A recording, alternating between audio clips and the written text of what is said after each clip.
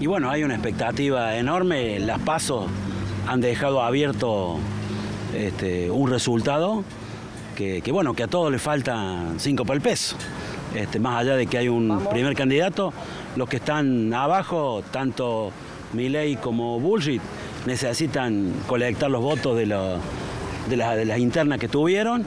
Si lo decimos por arroyito, esta mañana el movimiento es superior al de las pasos, este, a pesar de que el día está lloviznando, está que pareciera que la gente no fuera a votar, el movimiento es mayor, yo creo que va a haber mayor cantidad de votantes, pero bueno, vamos a ver este, qué decide el electorado, en esto debemos ser cuidadosos del electorado, la situación económica eh, está es triste, lamentable en el país, las distintas opciones eh, tienen un frente eh, de, extremos, la dolarización y el mercado libre, entonces hay distintas opciones que, bueno, que por ahí la gente, el ciudadano común, no conoce realmente cómo es el, cómo funciona la economía.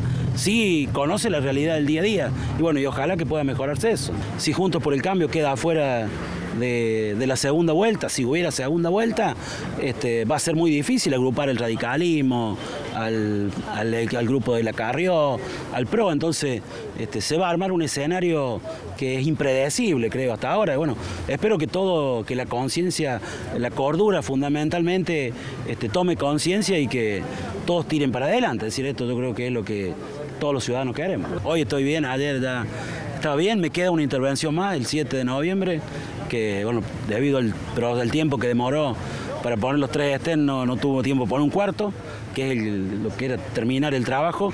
Y, bueno, me tengo que preparar para eso. Eh, eh, son, es la primera vez que me asusta el tema de la salud, que uno siempre subestima. Pero bueno, también los años pasan y bueno, y a cuidarse. Y, y, bueno, ya mañana ya vamos a estar de nuevo en actividad, así que esperando la, lo del 7 de noviembre, que, bueno, que esperemos también que pase rápido. Vieron todo lo, más rico, todo lo que es la carne, los chacinados, decir, bueno, vengo bien estos días.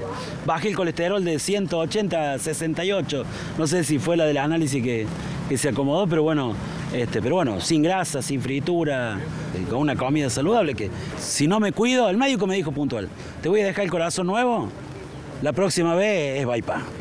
Así que, pero bueno, por eso también uno a veces se asusta, pero bueno, pero este, la, creo que con estos siete estén que voy a tener, creo que van a andar bien.